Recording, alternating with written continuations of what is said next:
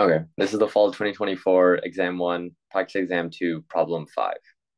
So we're told, uh, let the domain of discourse be all people.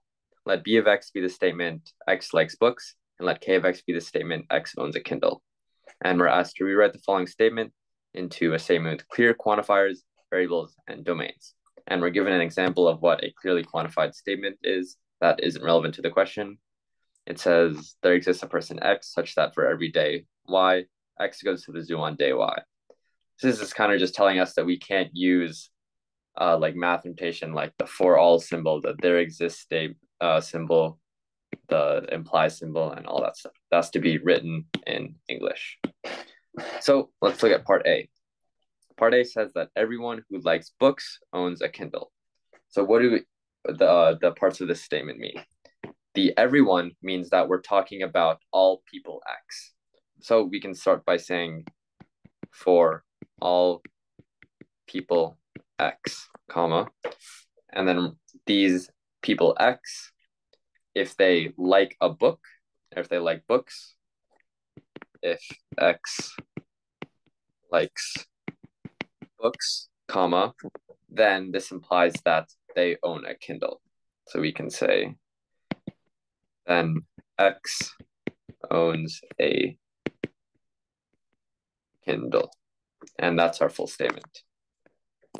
Looking at part B now, we're starting with a someone. Someone means, unlike in part A, we're looking for there existing at least one person X. So we can start our statement like this.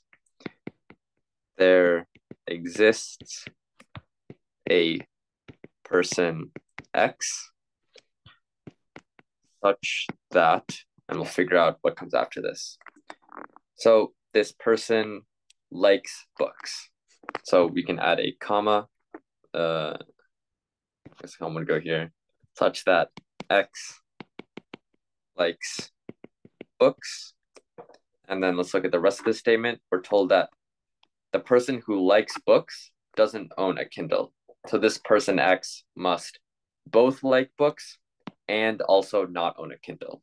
And that means we need the and here. So X likes books and X does not own a Kindle.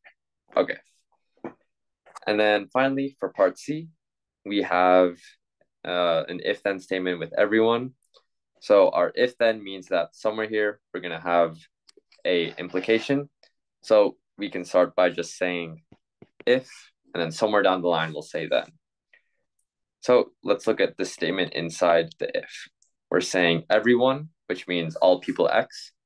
So if for all people X, comma, if everyone likes books, that means that all these X people like books. So if for all people X, X likes books, comma, we have our then now. So we can say then, comma, someone owns a Kindle. What does this someone mean? Well, we saw earlier that someone means there exists at least one person X. So then there exists a person X such that, and then what's our such that? It's that they own a Kindle.